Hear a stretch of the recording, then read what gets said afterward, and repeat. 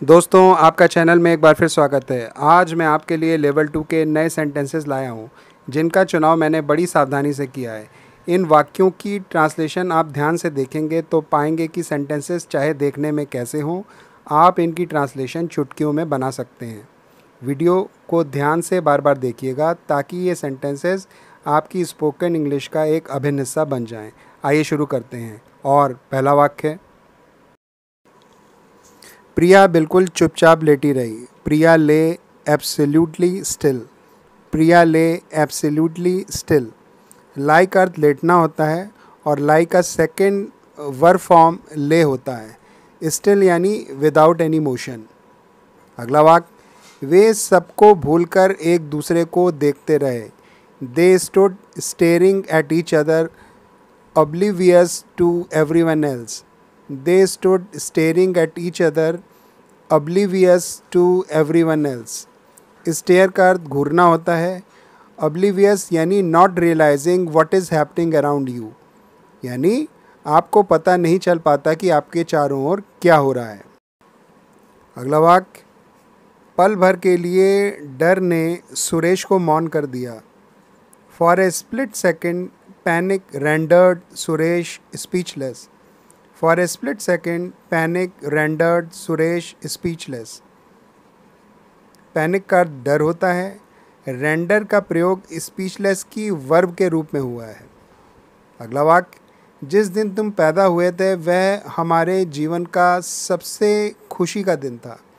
The day you were born was the happiest day of our lives the day you were born was the happiest day of our lives अक्सर parents अपने लाडले या लाडली के लिए ये वाक्य बोलते हैं। अगला वाक्य तुम एक अच्छे लड़के की तरह बड़े हो रहे हो।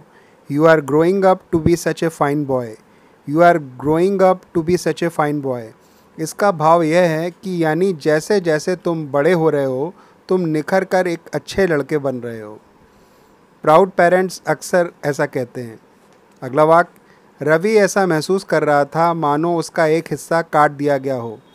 Ravi was feeling as if a part of him had been cut away Ravi was feeling as if a part of him had been cut away अक्सर किसी निकट संबंधी की मृत्यु पर लोग ऐसा कहते हैं। सुबह के सूरज ने लड़की को अपनी मध्यम रोशनी में नहला दिया। The morning sun bathed the girl in its soft light the morning sun bathed the girl in its soft light मध्यम यानी डिम या हल्का। अगला वाक, सच्चा प्यार उसे नहीं मिला। True love did seem to elude him true love did seem to elude him elude का अर्थ, जब कोई चीज़ आपसे दूर होती जाए, यानी उस कारण आप उसे पाना पाएँ। इंग्लिश में से टू बी अनअटेंड बाई भी कहते हैं। नेक्स्ट वे एक दूसरे को बिना यकीन करते हुए घूरते रहे। They stared at each other disbelievingly they stared at each other disbelievingly disbelieve का अर्थ विश्वास न करना। नेक्स्ट जिन हालात में हम जी रहे हैं, वे बहुत ख़तरनाक हैं।